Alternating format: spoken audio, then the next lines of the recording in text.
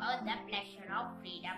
Once in a jungle, a beautiful golden bird had made her home on a tree and lived happily with this great family. Then she sang a shiny pearl fall on her open mouth. And soon a bird catcher came to the jungle and spread the net. The bird, golden bird caught in it and the bird catcher took it to home and kept in silver cage and feed it well. But the sad golden bird did not sing. So the bird catcher did not get any pearl. So he sold it to the merchant. The merchant gave to the king and the king said, Hmm, I will give to my princess. She is a good and kind-hearted girl.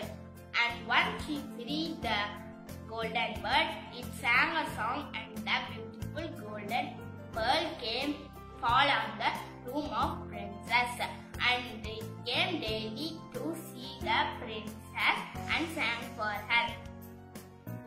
From this story we learn about